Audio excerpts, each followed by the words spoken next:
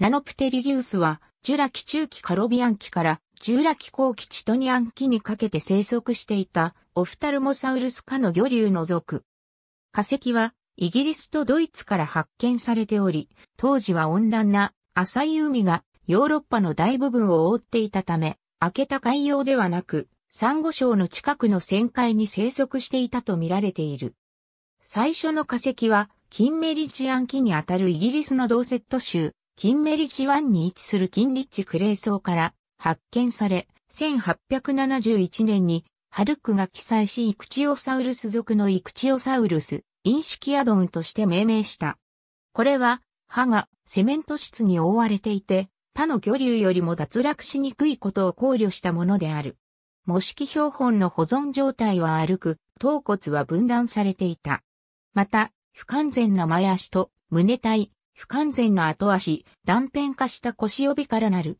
この一年前、ハルクは同じ場所で発見した生物の遺骸を魚竜として記載し、インシキアドン属として命名した。この時、種レベルの分類は行われなかった。これらはすでに失われたが、ハルックはこれらの標本が種レベルに分類可能なものとして考えた。1922年、フエネが小さな獅子にちなんで命名した新属ナノプテリギウスに、この種を再分類した。最初の化石は、ほぼ完全であるが潰れており、立体を保っていない。残りの化石はすべて断片的なものである。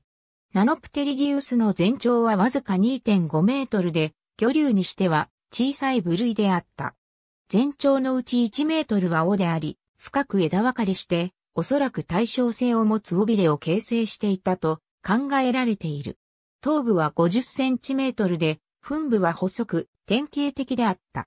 オフタルモサウルス科として分類される根拠ともなった目は、大きく、胸膜輪が内部に存在した。化石の状態のため正確な個数は不明であるが、円盤状の椎骨が最低でも60個存在し、ナノプテリギウスが柔軟で機敏な遊泳動物であったことが示唆されている。肋骨は長く湾曲していたが、連携してはいなかった。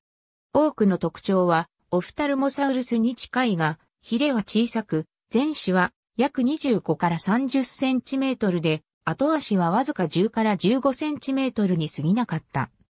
このため姿は流線型で魚雷のようだったが、揚力の発生や素早い方向転換が困難になった可能性がある。この場合は長距離の遊泳では非効率的だが、短距離では高速遊泳が可能であった。